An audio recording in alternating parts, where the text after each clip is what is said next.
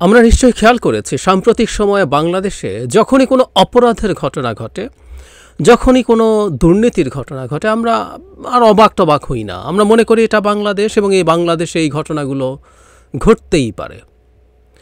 এবং আমি আগে বহুবার বলেছি যে এই যে ঘটতেই পারে, হতেই পারে, এই যে আমরা মেনে নিয়েছি, এই মেনে নেওয়াটা খুবই ক্ষতিকর। ইনফ্যাক্ট যেই ধরনের একটা সরকার বাংলাদেশে আছে একটা স্বৈরাচারী সরকার যেটা একদম স্পেসিফিকলি একটা ক্রিমিনাল এম্পায়ারে পরিণত করেছে, অপরাধীদের স্বর্গরাজ্য, সাম্রাজ্যে পরিণত করেছে বাংলাদেশ। এটাকে মগের মূল্যকে পরিণত করেছে, এটাকে মাফিয়াতন্ত্রে পরিণত করেছে। সেই সরকারটা আসলে ঠিক এটাই চায় যে আমরা সব কিছু হতেই পারে বলে মেনে নিচ্ছি এবং একটু মাঝে মাঝে যদি একটু লাগ নেই কগনিজেন্সে নেইও, একটু ট্রোল টোল করে শেষ করে দিলাম, শেষ হয়ে গেল সব কিছু ঠিক এই জিনিসটা চায়। আমরা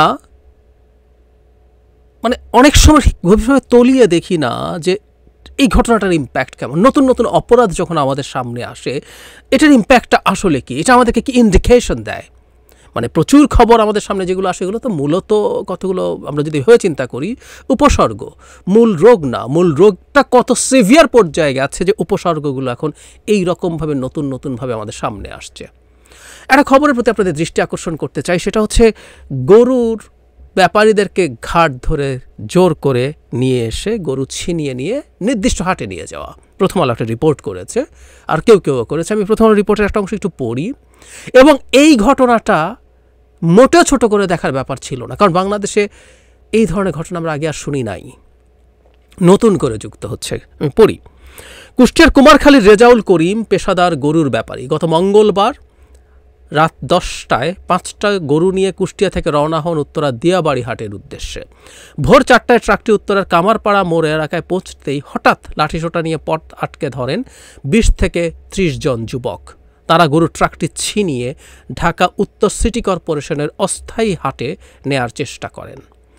রেজাউল কিছুতে ওই হাটে যাবেন না, প্রতিবাদ করলে ক্ষিপ্ত হয়ে ওঠেন ওই যুবকেরা। এক পর্যায়ে ট্রাকে ওঠে গরুর রশি কেটে দেওয়ার পাশাপাশি ট্রাকের চালককে মারধর শুরু করেন তারা।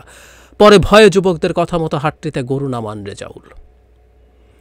বুধবার দুইটার দিকে কথা হয় রেজাউলের সঙ্গে, উনি বর্ণনা বলেন, এই জায়গাটা আমার বিশ বছরের পাইকারি জীবনে কোনোদিন এমন চিন্তায় শিকার হয়নি এইটা নতুন হাট, শেষ পর্যন্ত গরু বিক্রি করতে পারব কিনা সে চিন্তায় ঘুম নাই। শুধু রেজাউল না, হাটটিতে প্রায় সব বিক্রেতার কাছ থেকে এই একই বর্ণনা পাওয়া গেছে। তারা গরু বিক্রি করতে না পারা নিয়ে দুশ্চিন্তায় ভুগছেন। কামারপাড়া মোড়ের পাশে এখানে কোনখান কোনখান দিয়ে হাটটা আছে সেটা বলা হয়েছে। সরেজমিনে দেখা যায় এর মধ্যে কিছু গরু উঠেছে হাটটিতে। কুষ্টিয়া, চুয়াডাঙ্গা, জামালপুর, নেত্রকোনা, চুয়াডাঙ্গা, রাজবাড়ি বিভিন্ন এলাকার গরু। হাটে ক্রেতা নেই, গরুর পাশেই অবস্থান করছে বিক্রেতা বা ব্যাপারীরা। প্রতিবেদক কৌশলে হাটের পনেরো জন গরু বিক্রেতার সাথে কথা বলেন, তাদের সবাই মহাসড়ক থেকে গরুর নিয়ে আসা হয়েছে বলে অভিযোগ করছেন। এসব বিক্রেতারা বলেন, রাত নটার পর থেকেই মহাসড়কের কামারপাড়া মোড় ইজতেমার টয়লেট বিল্ডিং এবং আইইউবিটি বিশ্ববিদ্যালয়ের সামনে লাঠি হাতে অবস্থান করেন হাটের লোকজন। গরু বোঝায়, কোনো ট্রাক এলেই তারা পথ আটকে ধরেন, এরপর চালক বা গরুর ব্যাপারীকে মারধর শুরু করে ছিনিয়ে নেওয়া হয় হাটে। এই সময় সড়কে পুলিশ থাকলে কেউ কাজে এই কাজে বাধা দেয়নি বলে অভিযোগ তাদের। এদিকে মঙ্গলবার রাতে গরু ছিনতাইয়ের ছবি তুলতে গিয়ে মারধরের শিকার হন দৈনিক আজাদের পত্রিকার আজকের পত্রিকার উত্তরা প্রতিনিধি নুরুল আমিন হাসান। আমরা খেয়াল করছি, আপনি গরু নিয়ে যাচ্ছেন, একটা নির্দিষ্ট হাটে নিয়ে যাওয়ার কথা ছিল, পথে আপনাকে থামানো হলো, থামিয়ে, হুমকি দিয়ে পিটিয়ে আপনার গরুকে নির্দিষ্ট হাটে নিয়ে যাওয়া হচ্ছে পুলিশের সামনে পুলিশের সামনে। একটা ক্রিমিনাল পায়ারে একটা মাফিয়া তন্ত্রে, আমি মাফিয়া স্টেট কি, কীভাবে কাজ করে সেটা নিয়ে আলাদাভাবে একদিন কথা বলব। গুরুত্বপূর্ণ কন্ডিশনগুলোর একটা, সেটা হচ্ছে অর্গানাইজড ক্রাইমের সাথে আইনশৃঙ্খলা রক্ষাকারী বাহিনীও জড়িত হয়ে পড়ে। মানে এই দেশের একজন আইজিপির যে স্টোরি আমাদের সামনে এসেছে, কতটা অর্গানাইজড ক্রাইমের সাথে উনি জড়িত ছিলেন আমরা বুঝতে পারি। সো এই ঘটনাগুলো ঘটছে এবং একজন বিক্রেতার মতো গত বিশ বছরের পাইকারের জীবনে উনি এই ধরনের প্রবলেম ফেস করেন নাই। মাফিয়াতন্ত্রে যা হয়। আপনি এরিয়া অনুযায়ী যদি একজন মাফিয়ায় পরিণত হতে পারেন, আপনি কবজা করে ফেলতে পারেন। ওখানে জনগণকে সাহায্য করার মতো যারা থাকার কথা, রাষ্ট্র যেখানে প্রেজেন্ট থাকার কথা, প্রশাসন, পুলিশ, ওগুলো আপনি কবজা করে ফেলেন এবং আপনি এই কাজ করেন। খেয়াল করুন, একটা হাট বসেছে, সেই হাটে প্রায় সবাই মানে প্রথম আলো পনেরো জনের সাথে কথা বলেছে কৌশলে, প্রত্যেকের একই স্টোরি এই কাজ করছে একটা দিনে দুপুরে হাট বসিয়ে দিয়েছেন যেখানে আপনি মানুষকে ঘাড় ধরে নিয়ে যেতে বাধ্য করছেন, ওই হাটে গরু বিক্রি করানোর জন্য। আমি একটা কথা আবারও বলি বা আবারও বলে যাব, কারও কাছে খুবই রিপিটেশন মনে হতে পারে, কিছু কথা রিপিটেশনের দরকার আছে।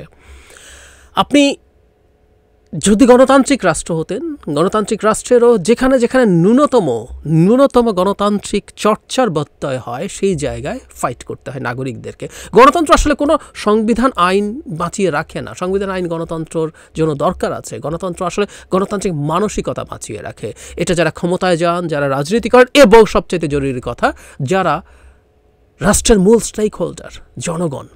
তাদের মধ্যে, তাদের লড়াইয়ের মধ্যে, তাদের শোরগোলের মধ্যে বেঁচে থাকে।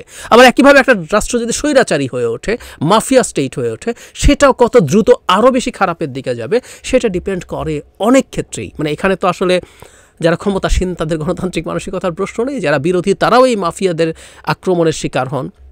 ঠিক একইভাবে এই শিকার হবার ঝুঁকি আছে জেনে আমরাও চুপ করে থাকি এবং আমরা যতই চুপ করে থাকি, আমরা যতই মেনে নিতে থাকি এবং আমরা যতই বলতে থাকি যে না, এটা তো হতেই পারে।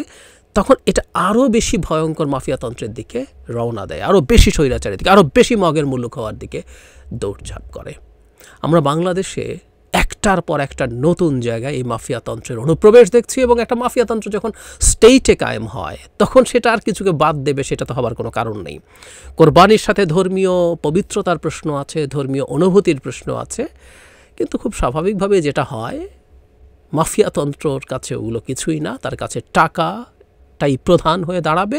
সুতরাং ওগুলো কিছু কাজ করবে এবং স্টেট মেশিনারিজও এর বিপক্ষে থাকবে না, এর পক্ষে দাঁড়িয়ে বরং কাজ করবে, তাই দেখতে পাচ্ছি। আমাদের যা করার আছে কাজ হবে কি না ইজ এ ডিফারেন্ট ডিবেট একটু সাহস করে শোরগোল করা। আমি প্রায় শোরগোল করার কথা বলি, সুতরাং এই শোরগোলটা যাতে করি, এই দেশটা মাফিয়া স্টেট হয়ে গেছে, এই মাফিয়া স্টেটটা আরও প্রতিদিন আরও বেশি করে আরও বেশি খারাপের দিকে যাচ্ছে।